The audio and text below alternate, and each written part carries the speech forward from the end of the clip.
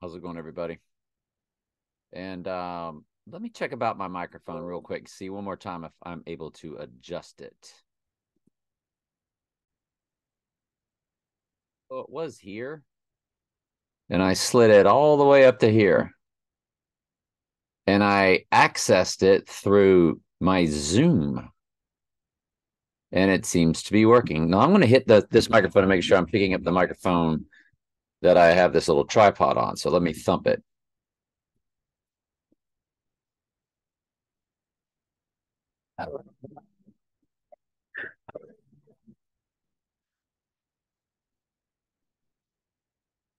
So when I thumped my tripod, it did not pop.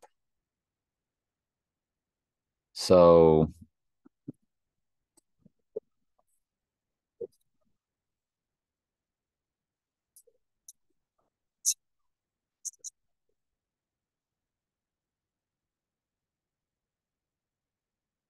Let me see. Uh, you know what I need to do? What if it actually got disconnected and I've been using all this time the microphone for the from the computer? No, it's plugged in. So, yep, should be working. That should be it. Microphone is not working properly. Check my microphone. Okay, I'm checking it. Why did he give me that? Hmm. Because I clicked it to check it. Test mic. Testing one, two, three. Testing one, two, three.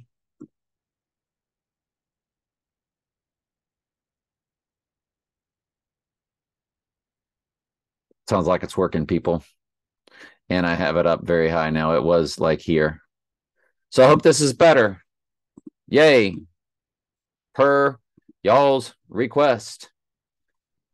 All right, we're going to get into Hebrews and um, Daniel. We're going to continue on an inch closer to the mark of the beast.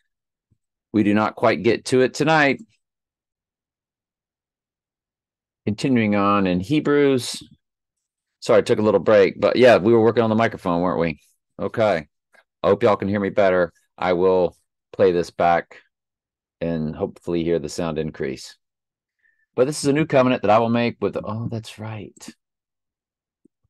We're continuing on. But this will be a new covenant that I will make with the house of Israel. It's no longer Israel and Judah in the old covenant as they were split. See yesterday's study. How come I'm not logged in? I'm always logged in. Okay. Buster Brown. Let me log the other ones in. Gotta be logged in, man, in case we highlight stuff. After those days, saith the Lord, I will put my law in their mind. It says in their mind and write it on their hearts. In the um, Old Testament, I will put my law in their inward parts, which is their mind, and write it on their hearts. Y'all, you don't have free will. what in the world?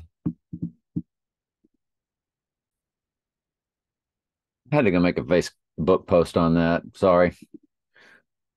So, I mean, he's doing the work. He's telling you, I, I, I, I put my law in their mind and write and write them in their hearts. God does it. I do it. I. So let's put I will. And let's highlight I will. I will be to them a God and they shall be my people. Who? The sheep, not the whole world. John 3:16 for God so loved cosmos in the Greek, which is his orderly arrangement.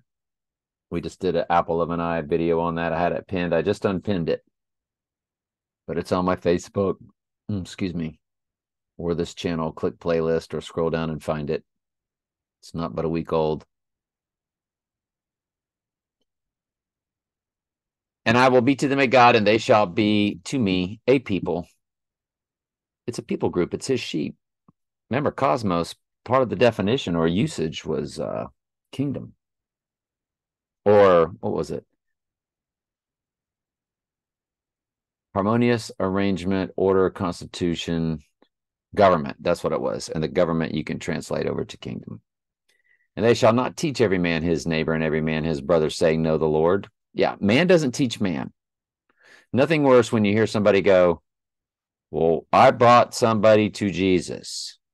No, if you're in truth and through your words, somebody else came to the truth, that was the Holy Spirit moving you, moving them. That's spirit to spirit, or the Holy Spirit just free free flowing from one person to another. Man doesn't do anything without the spirit world moving it so. That's why Jesus looked at him and said, You're of your father, the devil.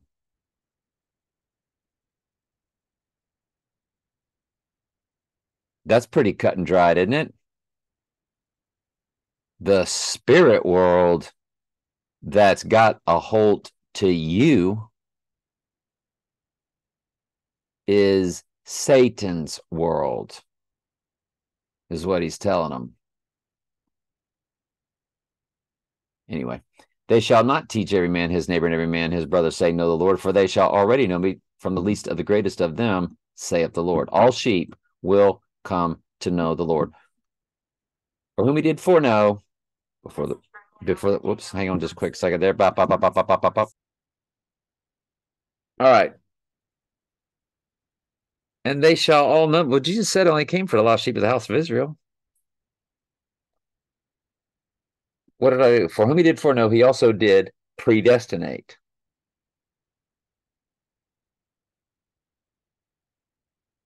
For he hath chosen us in him from before the foundation of the world. Predestinated. So it's Ephesians 1, 4, and 5 with Romans 8, 29 and 30. Back over to grace. Uh, Ephesians 2, 8, 9, and 10. They never give you verse 10 in the false pulpits. It's the key verse that lines back up with Ephesians 1, 4, and 5, previous chapter, and Romans 8, 29 and 30.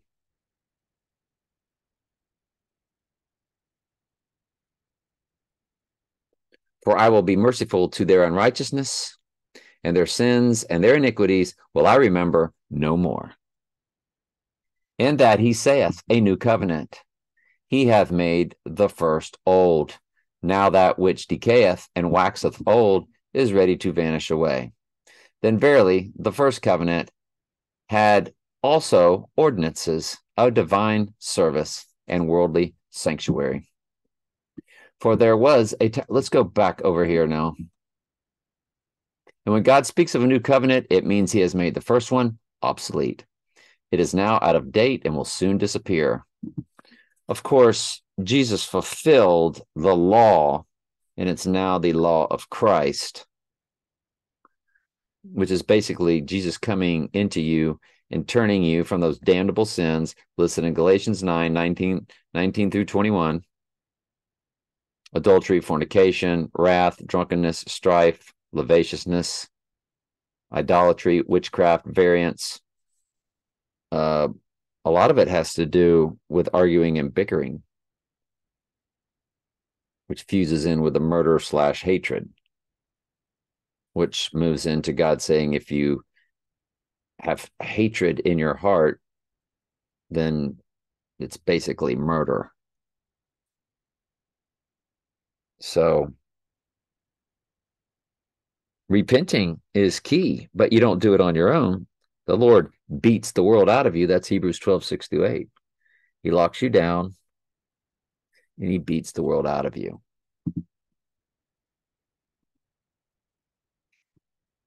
Which is what Mystery Babylon did as a ritual in 2020 for their world of Mother Earth, the Mother Goddess, uh, the Tree Goddess, grove worship. Um, That's Mystery Babylon. It's Isis. It's Venus. It's Lucifer. It's the shape shifting version of the male fallen angel into the goddess. And she is everywhere. That first covenant between God and Israel had regulations for worship and a place of worship here on earth. There are two rooms in that tabernacle. The first room what were a lampstand and a table and the sacred loaves of the bread on the table. The room was called the holy place. Then there was a curtain. Behind the curtain was a second room called the most holy place. In that room was the gold incense altar with a wooden chest called the Ark of the Covenant, which was covered with gold on all sides. Inside the ark were a gold jar containing manna, Aaron's staff that sprouted leaves, and the stone tablets of the covenant.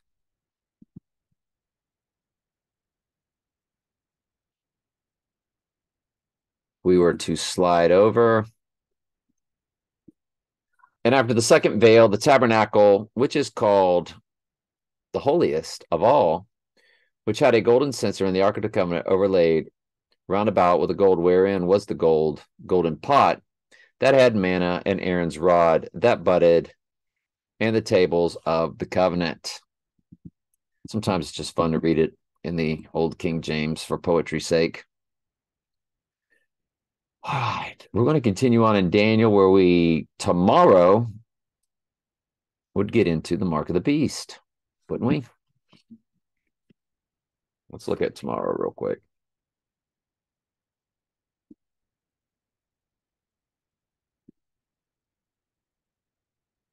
Tomorrow we will be in column three. Yep.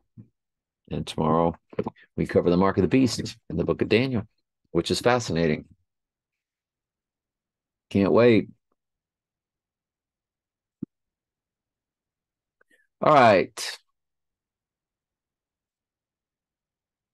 But as for me, this secret is not revealed to me by any wisdom. Again, man's free will. No, is moved by the spirit world, wasn't it, Daniel? Tell him, Daniel.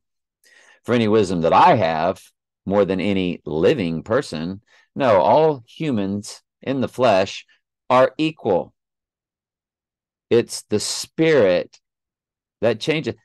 That's what all the parables, I mean, all the all the miracles were that Jesus performed. They were parallels of what he does then in his sheep. He cast out the devils.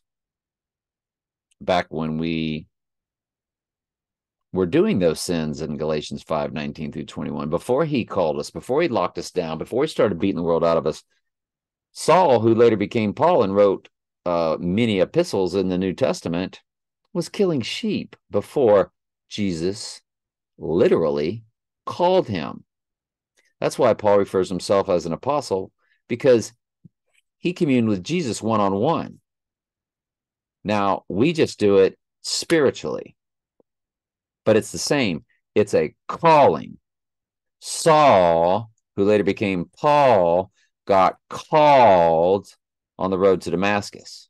Without the calling, Saul would have stayed Saul and would have kept killing sheep. We don't have any free will to properly come out of the world, come out of sin. Do we ever stop completely sinning? No. But it's not the damnable sins that are listed. I think it's Romans 2 and Galatians 5 19 through 21 and a few other places the one in Romans, when we just went over it, it stated, just like Galatians, those which do such things shall not inherit the kingdom. You don't stay in damnable sins. But you never get rid of the sin nature, which is what? Sense of pride, sense of ego, looking at yourself in the mirror. Sometimes you lose your temper your thoughts. It's not always purity. It's not angelic Jesus while you're in that flesh, but you're not going to be running around committing adultery. You're not going to take adultery to the grave.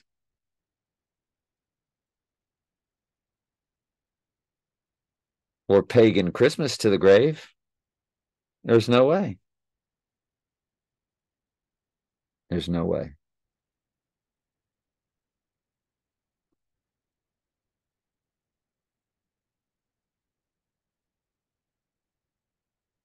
All right. But as for me, this secret is not revealed to me for any wisdom that I have more than any living, but for their sakes, that shall make known the interpretation to the king, that thou mightest know the thoughts of thy heart. Thou, O king, sawest, and behold, a great image. Y'all want to bring it up? I think I've got it saved.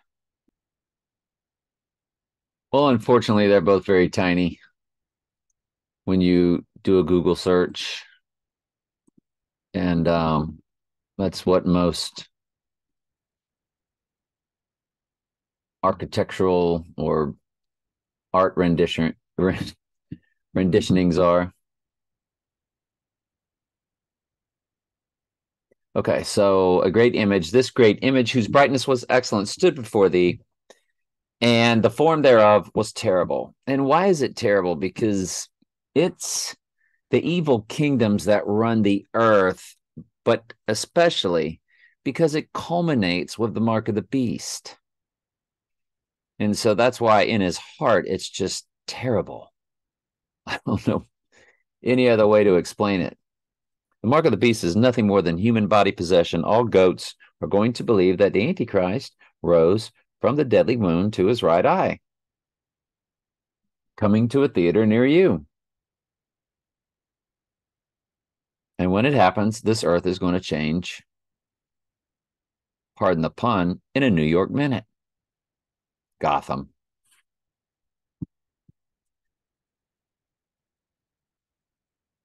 So the image's head was of fine gold, his breast and arms of silver.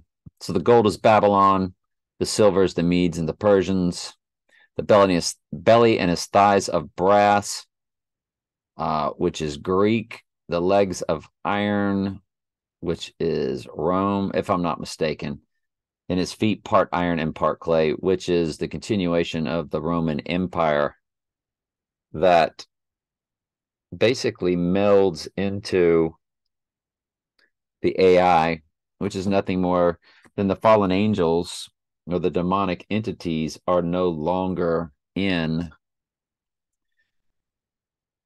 crystal balls or Ouija boards. They're in your technology, they reside in the technology. Per the album by the police in 1981 titled Ghost in the Machine. And at my old Bible study channel, we do show the playlist. Click playlist, not videos. Go down and click AI is the ghost in the machine mark of the beast. I feel like I just did one on my Bible study channel. Also, did I?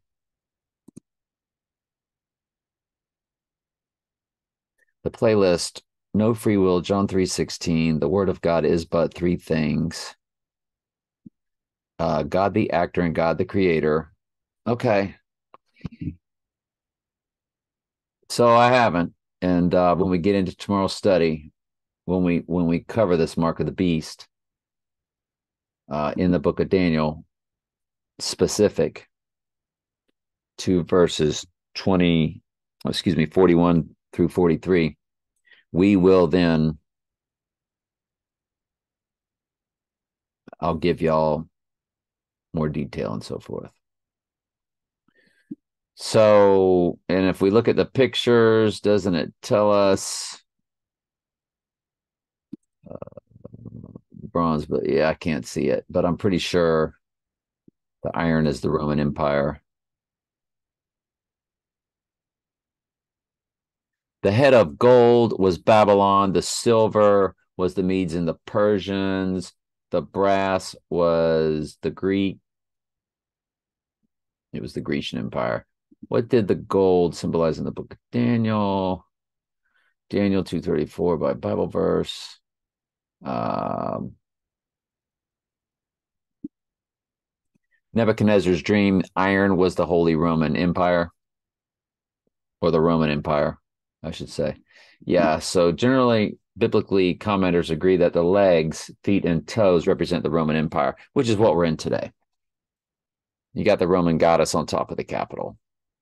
We're connected to, you know, you got the three city states. One is money, which is the city of London that sits inside of London, England. It's your trilateral commission. You've got the uh, the VAT over there in in the middle of Rome. That's a city state where the obelisk faces the dome. The obelisk came directly from Egypt. Uh, the dome is St. Peter's Bas- Basil- Basilica. The obelisk faces the dome in this city state. Washington D.C., which sits inside of Virgin Mary Land, Virginia, Maryland, Virgin Mary Land, Virginia, Maryland. So we are the the Roman Empire today but the feet and the toes getting into the iron and the clay. The clay are the humans, and the iron is the technology. So looks like I've already gotten into tomorrow's verses, but we will get more specific tomorrow. His legs of iron and his feet part of iron. So it's a continuation of the Roman Empire, but now it's morphing into the technology age versus just what the Roman Empire brought us, and part of clay, which is man. Thou sawest till that stone was cut out without hands. And this is God destroying it, of course, during his wrath, which smote the image upon his feet that were of iron and clay and break them into pieces. Again, I go back and forth into Daniel and Revelation. They are on my playlist, the Revelation 11th study or 12th study. I can't remember. Daniel's always ahead of Revelation. This is like my 12th study of Daniel, if I'm not mistaken, or 13th. I can't remember. Well, I guess if you just click the the Bible study channel, you will see it. This is Daniel 12th study. We just did Revelation 11th study. So click on the Revelation study and click on the Daniel study. Go through both right now. Why not? We're right on the precipice of it all.